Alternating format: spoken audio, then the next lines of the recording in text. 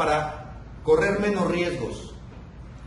Muchos de los que están formales se van a volver informales. ¿Por qué razón?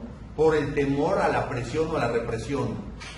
Vamos a tener que quedarnos callados todos porque cualquiera que estemos contra el sistema, que nos opongamos o que hablemos, vamos a ser víctimas de esta represión.